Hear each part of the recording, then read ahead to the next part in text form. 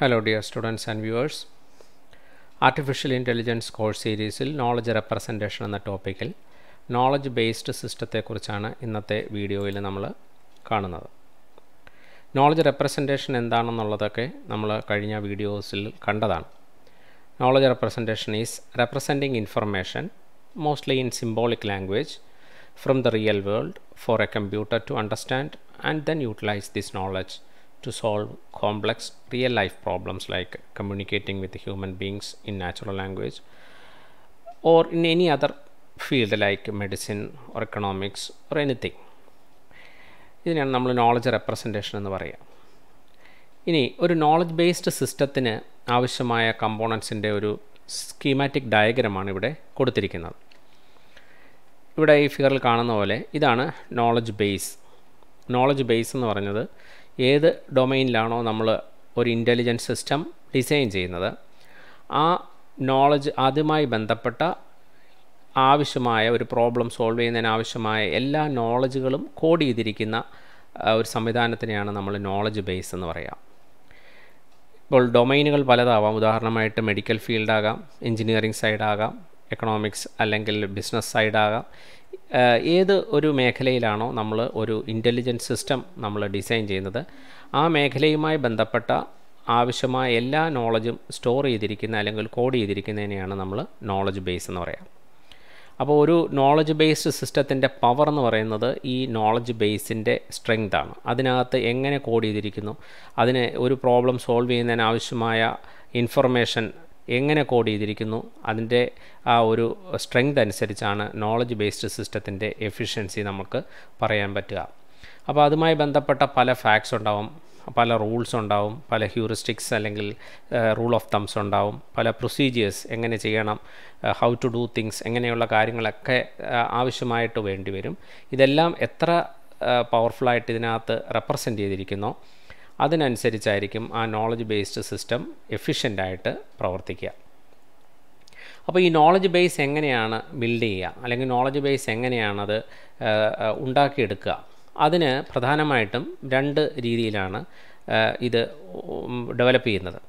അതിൽ ഒരാ ഒന്നാമത്തെ ഭാഗം എന്ന് പറയുന്നത് നോളജ് എഞ്ചിനീയറിംഗ് സൈഡാണ് നോളജ് എഞ്ചിനീയറിംഗ് എന്ന് പറയുന്നതിൽ രണ്ട് വ്യക്തികളാണ് പ്രധാനം അല്ലെങ്കിൽ രണ്ടോ അതിലധികമോ വ്യക്തികൾ ചേർന്നിട്ടാണത് ചെയ്യുന്നത്. രണ്ട് വ്യക്തികളെന്ന് വിളിക്കുന്ന ഇതിപ്പോൾ ഒരു വ്യക്തി എന്ന് തന്നെ പറയാൻ പറ്റത്തില്ല. ഒരു ഗ്രൂപ്പ് ഓഫ് പീപ്പിൾ ആയിരിക്കും. ഇത് വേറൊരു ഗ്രൂപ്പ് ഓഫ് പീപ്പിൾ ആയിരിക്കും. അതെങ്ങനെയാണെന്ന് വെച്ചാൽ ഇത് ആണ് ആ മേഖലയിലെ ഒരു എക്സ്പേർട്ട് ഉദാഹരണമായിട്ട് നമ്മളൊരു മെഡിക്കൽ ഫീൽഡിലെ ഒരു പ്രോഗ്രാമാണ് നമ്മൾ ഉദ്ദേശിക്കുന്നതെങ്കിൽ ഇപ്പോൾ ഉദാഹരണമായിട്ട് ഏതെങ്കിലും രോഗം നിർണയിക്കുന്നതിനാവശ്യമായ ഒരു എക്സ്പേർട്ട് സിസ്റ്റം നമ്മൾ ഉണ്ടാക്കുകയാണെന്ന് വിചാരിക്കുക. അല്ലെങ്കിൽ ഒരു സ്കാൻ റിപ്പോർട്ട് എത്രയും നന്നായിട്ട് ഐഡന്റിഫൈ ചെയ്യാൻ പറ്റുന്ന ഒരു നോളജ് ബേസ് നമുക്ക് അല്ലെങ്കിൽ ഒരു എക്സ്പേർട്ട് സിസ്റ്റം നമ്മൾ ഉണ്ടാക്കുകയാണെന്ന് വിചാരിക്കുകയാണെങ്കിൽ ആ മേഖലയുമായി ബന്ധപ്പെട്ട ഒരു എക്സ്പേർട്ടായിരിക്കും ഈ നമ്മളിവിടെ എക്സ്പേർട്ട് എന്ന് വിളിക്കുക. ഇപ്പോൾ ഉദാഹര ഉദാഹരണമായിട്ട് ഈ റെഡ് സിമ്പിളായിട്ട് കാണിച്ചിരിക്കുന്ന വ്യക്തി ഒരു ഡോക്ടറാകാം അല്ലെങ്കിൽ നമ്മൾ ഡിസൈൻ ചെയ്യുന്ന ഒരു എഞ്ചിനീയറിംഗ് മേഖലയിലുള്ളതാണെങ്കിൽ ഒരു എക്സ്പേർട്ട് എഞ്ചിനീയർ ആയിരിക്കാം. അതല്ല വേറെ ഏതെങ്കിലും ബിസിനസ് മേഖലയിലാണ് നമ്മൾ ഈ സിസ്റ്റം ഡെവലപ്പ് ചെയ്യുന്നതെങ്കിൽ ഒരു നല്ല എക്സ്പേർട്ടായിരിക്കും ആ മേഖലയിൽ ഒരു എക്സ്പേർട്ടാണ് ഈ വ്യക്തി. ഇദ്ദേഹത്തിന് ആ പ്രോബ്ലം എങ്ങനെ സോൾവ് ചെയ്യണമെന്നതിനെക്കുറിച്ച് നല്ല അറിവുള്ള ഒരാളാണ്.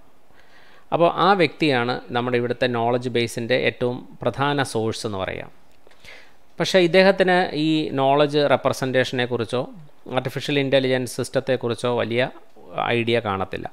അപ്പോൾ അതുകൊണ്ട് അദ്ദേഹത്തിന്റെ ഈ എക്സ്പെർട്ടൈസ് മനസ്സിലാക്കി അതിനെ കോഡ് ചെയ്യുന്ന ഒരു ആൾ അല്ലെങ്കിൽ ഒരു ഗ്രൂപ്പ് ഓഫ് പീപ്പിളാണ് ഏത്? നോളജ് എഞ്ചിനീയർ എന്ന് പറയാം അപ്പോൾ നോളജ് എഞ്ചിനീയറിന്റെ കഴിവെന്ന് പറയുന്ന സ്കില്ലെന്ന് പറയുന്നത് ഈ എക്സ്പേർട്ട് പറയുന്ന കാര്യങ്ങൾ കേട്ട് അല്ലെങ്കിൽ അദ്ദേഹം ചെയ്യുന്ന രീതികൾ കണ്ട് അതിനെ കോഡ് ചെയ്ത് അല്ലെങ്കിൽ അതിൽ നിന്നും ഹ്യൂറിസ്റ്റിക്സ് ഒക്കെ കണ്ടുപിടിച്ച് അല്ലെങ്കിൽ റൂൾ ഓഫ് തമ്പൊക്കെ കണ്ടുപിടിച്ച് ഷോർട്ട് കട്ടുകൾ കണ്ടുപിടിച്ച് റൂൾസ് ക്രിയേറ്റ് ചെയ്ത് അത് എൻകോഡ് ചെയ്യാൻ കഴിവുള്ള ഒരു വ്യക്തിയാണ് നോളജ് എഞ്ചിനീയർ എന്ന് പറയാം. അപ്പോൾ നോളജ് എഞ്ചിനീയറിംഗ് സൈഡിൽ വരുന്ന രണ്ട് വ്യക്തികൾ ഒന്ന് ആ ഡൊമൈനിലെ ഒരു എക്സ്പേർട്ട് ആയിരിക്കും.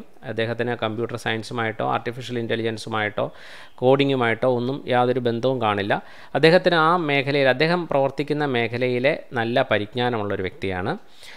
അദ്ദേഹത്തിന്റെ കൂടെ പ്രവർത്തിക്കുന്ന ഒരു കമ്പ്യൂട്ടർ എഞ്ചിനീയറാണ് അല്ലെങ്കിൽ ആർട്ടിഫിഷ്യൽ ഇന്റലിജന്റ് എഞ്ചിനീയറാണ് നോളജ് എഞ്ചിനീയർ എന്ന് പറയുക അദ്ദേഹത്തിന് നോളജ് എഞ്ചിനീയറിംഗ് നോളജ് ബേസ് എങ്ങനെ ബിൽഡ് ചെയ്യണമെന്നും കോഡിംഗ് എങ്ങനെ ചെയ്യണമെന്നും നോളജ് റെപ്രസെന്റേഷൻ എത്ര എഫക്റ്റീവായിട്ട് ചെയ്യാമെന്നും അതിന് ബന്ധപ്പെട്ട പ്രോഗ്രാമുകളെക്കുറിച്ചൊക്കെ നല്ല അറിവുള്ളൊരു വ്യക്തിയാണ് നോളജ് എഞ്ചിനീയർ എന്ന് പറയുക ഇപ്പോൾ ഇവരുടെ ഒരു കൂട്ടായ പ്രയത്നത്തിന്റെ ഫലമായിട്ടാണ് നമുക്ക് നോളജ് ബേസ് ബിൽഡ് ചെയ്യാൻ സഹായിക്കുന്നത്. രണ്ടാമത്തെ ഒരു രീതി എന്ന് പറയുന്നത് മെഷീൻ ലേണിംഗ് എന്ന് പറയും. അതായത് ഈ നോളജ് ബേസ് നോളജ് അക്യു അക്വിസിഷൻ എന്ന് പറയുന്ന ഒരു പ്രോഗ്രാമുണ്ട് ആ പ്രോഗ്രാം ഈ ഉള്ള നോളജ് കൂടാതെ തന്നെ നമുക്ക് ആവശ്യമായ നോളജുകൾ നോളജ് ഇത് എടുക്കുന്നതിനായിട്ടുള്ള ഒരു സംവിധാനം ഇവിടെ ഉണ്ടാവും. അതൊരു സോഫ്റ്റ്വെയർ ആയിരിക്കും. ആ സോഫ്റ്റ്വെയറിന് ഒരു പ്രോബ്ലം ചെയ്യുമ്പോൾ ഫേസ് ചെയ്യുന്ന എന്തെങ്കിലും ഒരു ഡിഫിക്കൾട്ട് സിറ്റുവേഷൻ വരികയാണെങ്കിൽ അന്നേരം അത് സോൾവ് ചെയ്യാൻ ആവശ്യമായ നോളജ് ഡേറ്റാ ബേസിൽ നിന്നോ അല്ലെങ്കിൽ എൻവയോൺമെന്റിൽ നിന്നോ അല്ലെങ്കിൽ വീണ്ടും ഒരു എക്സ്പോർട്ടിനോട് തന്നെ ഇൻട്രാക്ട് ചെയ്തോ ഒക്കെ ആ നോളജ് ഇൻക്രീസ് ചെയ്യാനായിട്ടുള്ള ഒരു സംവിധാനം ഉണ്ടാവും. അതിനെയാണ് നമ്മൾ മെഷീൻ ലേണിംഗ് എന്ന് വിളിക്കുക ഇത് ഒരു സൈഡാണ് മറ്റൊരു സൈഡെന്ന് പറയുന്നത് ഇൻഫറൻസ് മെക്കാനിസം അല്ലെങ്കിൽ നോളജ് മാനിപ്പുലേഷൻ എന്ന് വിളിക്കാം. ഈ നോളജ് ബേസിൽ നിന്നും കൂടുതൽ നോളജ് ഉണ്ടാക്കാനും ഒരു ഇന്ററ ഒരു ഇന്ററാക്ട് ചെയ്യുന്ന ഒരാൾ അല്ലെങ്കിൽ ഒരു പ്രോബ്ലം കൊടുക്കുന്ന ഒരാൾ കൊടുക്കുന്ന പ്രോബ്ലത്തിനനുസരിച്ച് നോളജ് ബേസിൽ നിന്നും ഒരു സൊല്യൂഷൻ കണ്ടെത്താൻ അല്ലെങ്കിൽ ഒരു ആൻസർ കണ്ടെത്താനും സഹായിക്കുന്ന ഒരു പ്രോഗ്രാം അതിനെയാണ് നമ്മൾ ഇൻഫറൻസ് മെക്കാനിസം എന്ന് വിളിക്കുക. അല്ലെങ്കിൽ അതിനെ നോളജ് മാനിപ്പുലേഷൻ എന്നും വിളിക്കാറുണ്ട്. ഇതാണ് പ്രധാനമായിട്ടും ഒരു നോളജ് ബേസ്ഡ് സിസ്റ്റത്തിന്റെ കമ്പോണൻസ് എന്ന് പറയാം. ഇനി ഇതിനെ നമുക്ക് നാല് നമ്പർ നാല് കാറ്റഗറീസ് ആയിട്ട് നമുക്ക് ക്ലാസിഫൈ ചെയ്യാം. നാല് കമ്പോണൻസ് ആണുള്ളത്. Knowledge acquisition knowledge representation knowledge manipulation and knowledge organisation ഇത് ഓരോന്നും എന്തൊക്കെയാണെന്ന് നോക്കാം. നോളജ് അക്വിസിഷൻ നോളജ് അക്വിസിഷൻ എല്ലാവർക്കും അറിയാവുന്നതുപോലെ process of acquiring knowledge through experts in a റോഫോ അതായത് നേരത്തെ ഞാൻ സൂചിപ്പിച്ച പോലെ എക്സ്പേർട്ട് എന്ന് പറയുന്ന ആ ഡൊമൈനിലുള്ള എക്സ്പേർട്ടാണ് ആ സ്പെസിഫിക് ഏരിയയിൽ ആണ് നമ്മൾ ആ പ്രോഗ്രാം ഡിസൈൻ ചെയ്യുന്നത്. ആ ഏരിയയിലുള്ള ഒരു എക്സ്പേർട്ടാണ് നമ്മുടെ ഇവിടുത്തെ നോളജിന്റെ ഏറ്റവും പ്രധാനപ്പെട്ട സോഴ്സ് എന്ന് പറയുക അത് കിട്ടുന്നത് ഒരു റോ ഫോമിലാണ് അദ്ദേഹം ചെയ്യുന്ന പ്രവർത്തികളുടെ നോക്കിയിട്ട് നമ്മൾ ആ മനസ്സിലാക്കിയിട്ടൊക്കെ ആയിരിക്കും നമ്മളത് പ്രോഗ്രാമിലേക്ക് കൊണ്ടുവരുന്നത്. അപ്പോൾ ഇദ്ദേഹം ചെയ്യുന്ന ഈ ആക്ടിവിറ്റിയെ റിഫൈൻ ചെയ്ത് അതിനെ റെപ്രസെന്റ് ചെയ്യുന്നതിനെയാണ് നമ്മൾ നോളജ് അക്വിസിഷൻ എന്ന് പറയുന്നത്. അത് കമ്പ്യൂട്ടറിലേക്ക് കൊടുക്കുകയും കമ്പ്യൂട്ടറിന് അത് എഫക്റ്റീവായിട്ട് യൂട്ടിലൈസ് ചെയ്യാൻ പറ്റുകയും പറ്റുകയും ചെയ്യുന്ന രീതിയിലായിരിക്കണം നമ്മളതിനെ റെപ്രസെന്റ് ചെയ്യേണ്ടത്.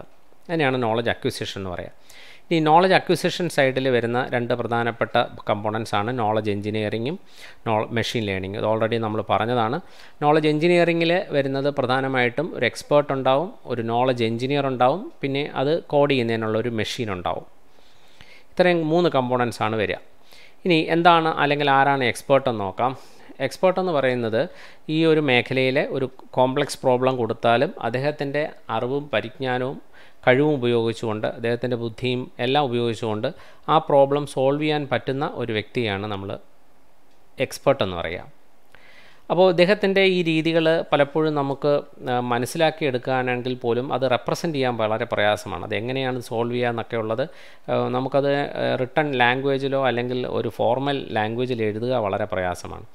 അതുകൊണ്ട് തന്നെ അത് നമുക്ക് പറയാം difficult to express his knowledge എന്ന് നമുക്ക് പറയാൻ പറ്റും. അത് എങ്ങനെയാണ് ചെയ്യുന്നതെന്നുള്ളത് നമുക്ക് പറയാൻ പറ്റത്തില്ല. അതും അത് പറയുന്നത് തന്നെ അത് ഒരു കമ്പ്യൂട്ടർ കമ്പ്യൂട്ടറിൽ കൊടുക്കുക ഫീഡ് ചെയ്യുക എന്ന് പറയുന്നത് വളരെ ബുദ്ധിമുട്ടുള്ള കാര്യമാണ്. അപ്പോൾ അവിടെയാണ് നോളജ് എഞ്ചിനീയറിന്റെ ഒരു മിടുക്ക്. അദ്ദേഹം നല്ല ഒരു എക്സ്പേർട്ടായിരിക്കും ഈ നോളജ് നോളജ് ബേസ് ബിൽഡ് ചെയ്യുന്നതിനും നോളജ് അക്വിസിഷൻ പ്രോഗ്രാമുകളെക്കുറിച്ചുമൊക്കെ നല്ല അറിവുള്ള ഒരു വ്യക്തിയാണ്. അദ്ദേഹത്തിന് പല ടെക്നിക്സും ടൂൾസും ഒക്കെ ഉണ്ടാവും. ഈ ഇദ്ദേഹം ഈ അറിവുകൾ ഉപയോഗിച്ചുകൊണ്ട് ഈ ഈ മേഖലയിലുള്ള തന്റെ കഴിവ് ഉപയോഗിച്ചുകൊണ്ട് ഈ എക്സ്പേർട്ടുമായിട്ട് ഇന്ററാക്ട് ചെയ്ത് അദ്ദേഹം ഇത് എങ്ങനെ സോൾവ് ചെയ്തെന്ന് മനസ്സിലാക്കിയിട്ട് അതിനെ ട്രാൻസ്ഫോം ചെയ്യും. ആ മെത്തേഡിനെ ആ റോ മെത്തേഡിനെ ട്രാൻസ്ഫോം ചെയ്ത് ഒരു ഫോർമൽ മെത്തേഡ് അല്ലെങ്കിൽ ഫോർമൽ ടൈപ്പ് ഓഫ് നോളജ് ആക്കി മാറ്റും എന്നുള്ളതാണ് അദ്ദേഹത്തിന്റെ ഒരു കഴിവ്. അതൊരു സിംബോളിക് ലാംഗ്വേജിലോ മറ്റോ കൺവേർട്ട് ചെയ്ത് അത് കമ്പ്യൂട്ടറിൽ കൊടുത്ത് അത് കമ്പ്യൂട്ടറിന് അത് റീഡ് ചെയ്യാനും അത് പ്രോസസ്സ് ചെയ്യാനും പറ്റുന്ന രീതിയിലേക്ക് കൺവേർട്ട് ചെയ്യാൻ കഴിവുള്ള ഒരു വ്യക്തിയാണ് നമ്മൾ നോളജ് എഞ്ചിനീയർ എന്ന് പറയുക. മൂന്നാമത്തെ കമ്പോണന്റ് എന്ന് പറയുന്ന കമ്പ്യൂട്ടിംഗ് മെഷീനാണ് അത് സിംബോളിക് കമ്പ്യൂട്ടേഷൻ പ്രോഗ്രാം ചെയ്യാൻ പറ്റുന്നതും അതുപോലെ അത് പ്രോസസ്സ് ചെയ്യാൻ പറ്റുന്നതുമായ ഒരു മെഷീനാണ് നമ്മൾ നോളജ് കമ്പ്യൂട്ടിംഗ് മെഷീൻ എന്ന് വിളിക്കുക. ഇനി നോളജ് അക്വിസിഷനിൽ ചെയ്യുന്ന രീതി എങ്ങനെയാണെന്ന് പറഞ്ഞാൽ ഓൾറെഡി നമ്മൾ പറഞ്ഞ കാര്യമാണ് interaction of knowledge engineer with expert അദ്ദേഹം പല രീതിയിൽ അദ്ദേഹം എക്സ്പേർട്ടുമായി ഈ നോളജ് എഞ്ചിനീയർ പല രീതിയിൽ എക്സ്പേർട്ടുമായിട്ട് ഇന്ററാക്ട് ചെയ്യും. സംസാരത്തിലൂടെയും ഇന്റർവ്യൂസിലൂടെയും അദ്ദേഹത്തിന്റെ ആക്ടിവിറ്റീസ് ശ്രദ്ധിച്ചും ഒക്കെ ആണ് അദ്ദേഹം ഈ നോളജ് എഞ്ചിനീയർ ഈ എക്സ്പേർട്ട് എങ്ങനെ ഇത് സോൾവ് ചെയ്യുന്നു എന്നുള്ള കാര്യം മനസ്സിലാക്കിയെടുക്കുന്നത്. എന്നതിന് ശേഷം അത് മനസ്സിലാക്കിയതിന് ശേഷം transforming the knowledge into a formal representation അദ്ദേഹം ഇതെല്ലാം മനസ്സിലാക്കിയതിന് ശേഷം അതിനെ നല്ല രീതിയിൽ ഒരു ഫോർമൽ ലാംഗ്വേജിൽ സിംബോളിക് ലാംഗ്വേജിൽ അതിനെ കൺവേർട്ട് ചെയ്ത് അതിലുപയോഗിച്ചിരിക്കുന്ന എല്ലാ ട്രിക്സും മെത്തേഡ്സും ഷോർട്ട് കട്ട്സും ഒക്കെ കൺവേർട്ട് ചെയ്ത് ഒരു കമ്പ്യൂട്ടർ ലാംഗ്വേജിലേക്ക് മാറ്റും എന്നുള്ളതാണ് അവിടെ നടക്കുന്ന മറ്റൊരു പ്രോസസ്സ് അപ്പോൾ ഇവിടെ ഒരു നോളജ് ആക്ട് എഞ്ചിനീയറിംഗ് സൈഡിന്റെ ആക്ടിവിറ്റീസ് എന്തൊക്കെയാണെന്ന് നോക്കിയാൽ identifying the domain of the problem identification of the problem formulating the concept that is creating sub tasks in hierarchical order ചിലപ്പോൾ ഒരു പ്രോബ്ലം ചെയ്യണമെങ്കിൽ ഒരു മെയിൻ പ്രോബ്ലത്തിന് തന്നെ പല സബ് ടാസ്കുകളായിട്ട് നമ്മൾ ഡിവൈഡ് ചെയ്തേണ്ടി വരും. അതിന് തന്നെ ഓർഡർ കാണും. ഇന്നത് ആദ്യം ചെയ്ത് പിന്നെ രണ്ടാമത് ഇത് ചെയ്യുക എന്നൊക്കെയുള്ള പല ഓർഡറുകൾ ഉണ്ടെങ്കിലേ ഇത് കറക്റ്റായിട്ട് ഈ പ്രോബ്ലം പെട്ടെന്ന് സോൾവ് ചെയ്യാൻ പറ്റുള്ളൂ. അപ്പോൾ ഇങ്ങനെ ഈ ഒരു ഹൈറാർക്കിക്കൽ ഓർഡറിൽ ഈ സബ് ടാസ്കുകളെല്ലാം ക്രമീകരിക്കുക എന്നുള്ളത് വളരെ ഇമ്പോർട്ടന്റ് ആയിട്ടുള്ളൊരു ടാസ്ക്കാണ് അത് കൃത്യമായിട്ട് ചെയ്തെങ്കിൽ മാത്രമേ ഈ പ്രോബ്ലം എഫക്റ്റീവായിട്ട് സോൾവ് ചെയ്യാൻ പറ്റുള്ളൂ. അപ്പോൾ ഇതെല്ലാം ഫോർമുലേറ്റ് ചെയ്യുക അതുപോലെ പ്രോബ്ലം ഇംപ്ലിമെന്റ് ചെയ്യുക അതുപോലെ തന്നെ ഒരു നല്ല ഒരു model knowledge engineer knowledge representation ആവശ്യമായ ഒരു നല്ല മോഡൽ ഡെവലപ്പ് ചെയ്യുക. കാരണം നോളജ് റെപ്രസെന്റേഷനെ പല രീതിയിൽ ചെയ്യാൻ പറ്റും. പല മോഡൽസ് അവൈലബിൾ ആണ്. ഈ പറഞ്ഞ പർട്ടിക്കുലർ പ്രോബ്ലം സോൾവ് ചെയ്യുന്നതിന് അല്ലെങ്കിൽ ഈ ഡൊമൈനിലുള്ള ഏത് പ്രോബ്ലം സോൾവ് ചെയ്യുന്നതിന് ആവശ്യമായ ഒരു നോളജ് റെപ്രസെന്റേഷൻ മോഡൽ ഉണ്ടാക്കുക എന്ന് പറയുന്നതും ഈ ഒരു നോളജ് എഞ്ചിനീയറിംഗ് സൈഡിന്റെ ഒരു ഇമ്പോർട്ടന്റ് ആക്ടിവിറ്റിയാണ് മോഡൽ എത്ര നല്ലതാണോ അതിനനുസരിച്ച് വളരെ എഫിഷ്യന്റ് ആയിരിക്കും ഈ നോളജ് ബേസ്ഡ് സിസ്റ്റത്തിന്റെ പെർഫോമൻസും അപ്പോൾ ഇത്രയും കാര്യങ്ങളാണ് ഒരു നോളജ് എഞ്ചിനീയറിംഗ് സൈഡിൽ ചെയ്യേണ്ടുന്ന കാര്യങ്ങൾ. ഇനിയും അടുത്തതായിട്ട് നോളജ് എഞ്ചിനീയറിങ്ങിൽ എങ്ങനെയാണിത് എഫക്റ്റീവ് ആവുന്നത് നോക്കിയാൽ the selection of knowledge representation scheme is based upon the nature characteristics and complexities of the problem or sub task അപ്പോൾ ഇത് എത്ര എഫക്റ്റീവായിട്ട് ചെയ്യാൻ പറ്റുമെന്നുള്ളത് ആ മോഡൽ എത്ര നല്ല രീതിയിലാണ് ചെയ്തിരിക്കുന്നത് എന്നുള്ളതിനനുസരിച്ചായിരിക്കും ഇരിക്കുക. ഇനി നമ്മൾ രണ്ടാമത്തെ ഭാഗത്തേക്ക് വരുന്നു നോളജ് റെപ്രസെന്റേഷൻ അപ്പോൾ നമുക്ക് ഈ റോ ഫോമിൽ കിട്ടിയ ഡേ ഇൻഫർമേഷൻ അല്ലെങ്കിൽ നോളജ് ഒരു എക്സ്പെർട്ടിന്റെ കയ്യിൽ നിന്ന് കിട്ടിയതാണ്. ഇതിനെ നമ്മൾ ഒരു ഫോർമൽ കമ്പ്യൂട്ടർ ലാംഗ്വേജിലേക്ക് മാറ്റേണ്ടിയിരിക്കുന്നു. അപ്പോൾ അതിന് ഒരു കമ്പ്യൂട്ടർ ലാംഗ്വേജ് ആകുമ്പോൾ അതിന് പ്രധാനമായിട്ട് ഒരു ഗ്രാമർ അല്ലെങ്കിൽ സിൻടാക്സ് വേണം.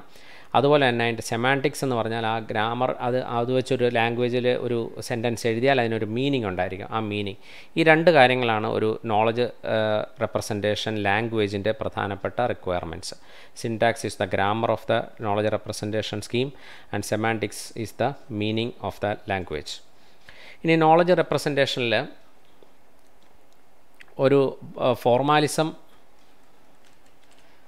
ക്രിയേറ്റ് ചെയ്യുമ്പോൾ ശ്രദ്ധിക്കേണ്ട കാര്യങ്ങൾ. അതിൽ പലപ്പോഴും നോൺ ക്വാണ്ടിറ്റേറ്റീവ് ആയിട്ടുള്ള കാര്യങ്ങൾ ഐഡിയാസ് കോൺസെപ്റ്റ്സ് അതുപോലെ റിലേഷൻഷിപ്സ് ഇതൊക്കെ നമുക്ക് എൻകോഡ് ചെയ്യാൻ പറ്റുന്നതായിരിക്കണം. അതുപോലെ തന്നെ അബ്സ്ട്രാക്റ്റ് ആയിട്ടുള്ള കാര്യങ്ങൾ ഒക്കെ നമുക്ക് എൻകോഡ് ചെയ്യാൻ പറ്റുന്ന ഒരു ഫോർമാലിസം ആയിരിക്കണം അവിടെ നിർമ്മിക്കേണ്ടത്. അപ്പോൾ ഇതൊക്കെയാണ് നോളജ് റെപ്രസെന്റേഷനിൽ നമ്മൾ ശ്രദ്ധിക്കേണ്ട കാര്യങ്ങൾ. നോളജ് ബേസ്ഡ് സിസ്റ്റത്തിന്റെ മൂന്നാമത്തെ കമ്പോണന്റാണ് നോളജ് മാനിപ്പുലേഷൻ നോളജ് മാനിപ്പുലേഷൻ എന്ന് പറഞ്ഞാൽ ഈ നോളജ് ബേസിലുള്ള നോളജ് ഉപയോഗിച്ചുകൊണ്ട് ഒരു പ്രോബ്ലം സോൾവ് ചെയ്യുന്ന പ്രോസസ്സിനെയാണ് നമ്മൾ നോളജ് മാനിപ്പുലേഷൻ എന്ന് പറയാം. അല്ലെങ്കിൽ അതിനെ ഇൻഫറൻസ് എഞ്ചിൻ എന്നാണ് വിളിക്കുക. ആ പ്രോബ്ലം സോൾവ് ചെയ്യുന്ന ആ പ്രോഗ്രാമിനെ വിളിക്കുന്ന പേര് ഇൻഫറൻസ് എഞ്ചിൻ എന്നാണ്. അപ്പോൾ നോളജിന് ഉള്ള നോളജ് കൂടാതെ തന്നെ ചിലപ്പോൾ കൂടുതൽ നോളജ് അവിടെ ഡിറൈവ് ചെയ്താണ്ട് ചെയ്യേണ്ടതായിട്ട് വരും. ചിലപ്പോൾ ചില സമയത്തൊക്കെ പുറത്തുനിന്ന് പുതിയ നോളജ് അക്വയർ ചെയ്യേണ്ടതായിട്ട് വരും. ഇതെല്ലാം ആ ആ സമയത്ത് നടക്കേണ്ടതായിട്ട് വരും. അപ്പോൾ ഇത് ഇങ്ങനെ എഫക്ഷ എഫക്റ്റീവായിട്ട് ചെയ്യാൻ പറ്റുന്ന ഒരു പ്രോഗ്രാമിനെയാണ് നമ്മൾ ഇൻഫറൻസ് എൻജിൻ എന്ന് വിളിക്കുക.